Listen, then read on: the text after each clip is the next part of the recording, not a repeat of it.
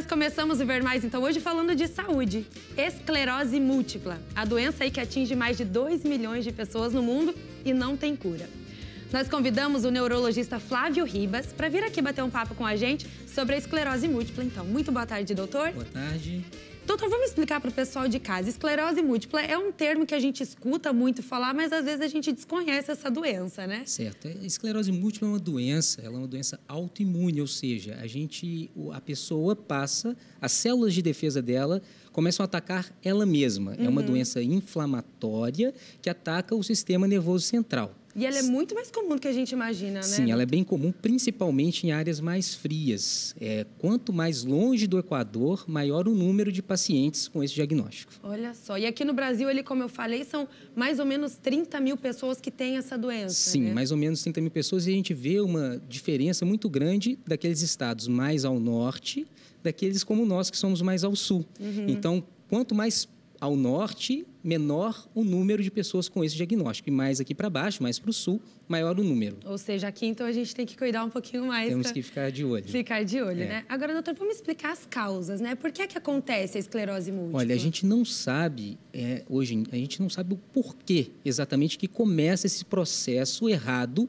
de resposta do sistema de defesa. Uhum. São vários fatores. A gente acredita que até mesmo a exposição solar, por isso que tem várias pessoas falando hoje em vitamina D, uhum. é, que podem desencadear infecções virais com vírus banais, esses resfriados que a gente é, pega, né, eventualmente, isso pode desencadear uma resposta errada do nosso, do nosso sistema de defesa que acaba atacando o nosso sistema nervoso central. Uhum. Mas não tem nada a ver com genética? Então, se a mãe tem, pode ser que a filha tenha? Isso, isso é uma pergunta muito frequente no nosso consultório e, e é, tem a ver com genética, mas é medicação.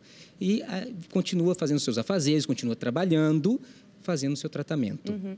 Eu ouvi dizer também que existem os surtos, as crises de quem tem Exatamente, essa doença. Exatamente, porque existem diferentes tipos de apresentação da doença. Uhum. Então, a mais comum, vamos dizer assim, é essa que se apresenta em surtos, é a chamada remitente recorrente ou surto-remissão. Então, a pessoa está bem, sabe que tem um diagnóstico e, de repente, tem um sintoma que leva, que é chamado de surto. Ela uhum. tem uma uhum. nova lesão no sistema nervoso central que causa aquele sintoma. Isso é o surto.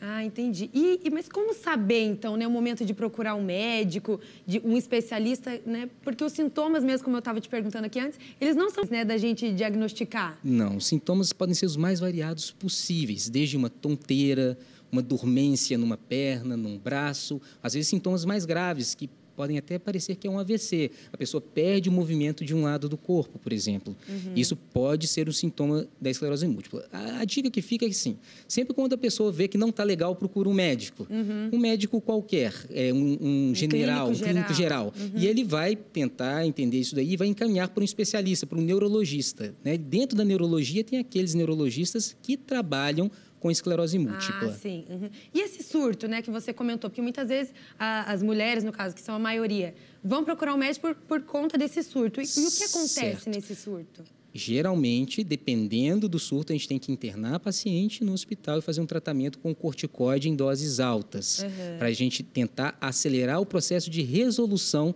daquele sintoma. Tá. E as consequências dessa doença, doutor? Aí, tema nervoso central, as consequências são as mais variadas. Elas podem, por exemplo, com o tempo, perder a capacidade de andar, de falar, alterações sensitivas, mas isso eu estou dizendo de um paciente numa fase mais avançada. A uhum. gente hoje, com o tratamento, a gente consegue manter o paciente muito bem por muito tempo. Uhum. Quanto antes, então, começar esse tratamento... Hoje a gente já sabe, isso já está bem claro para a gente. Quanto mais precoce o início do tratamento, melhor para o paciente. Antes a gente até aguardava um pouquinho mais, antes eu digo alguns 5 anos, 10 anos atrás, ah, mas bem ainda. recente. Mas agora com, a gente já sabe que quanto mais rápido o início do tratamento, melhor para o paciente. E antes nós também avaliávamos o tratamento com um escalonamento que era mais ou menos parecido para todos. Hoje não.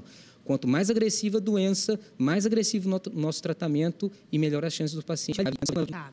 Doutor, então vamos finalizar agora um pouquinho dando um último recado para o pessoal de casa sobre a esclerose múltipla? Sim, então, como é uma doença que nós precisamos de ter uma atenção com um médico especializado, é interessante sempre, na suspeita, procurar um médico neurologista que tenha hábito de tratar esclerose múltipla, tratar e acompanhar para que a pessoa possa ter uma vida tranquila, uma vida normal por muito tempo. Por muito tempo. Doutor Flávio Ribas, neurologista, falando sobre esclerose múltipla. Muito obrigada pela muito sua presença aqui no Ver Mais e também pelos esclarecimentos. Muito obrigado.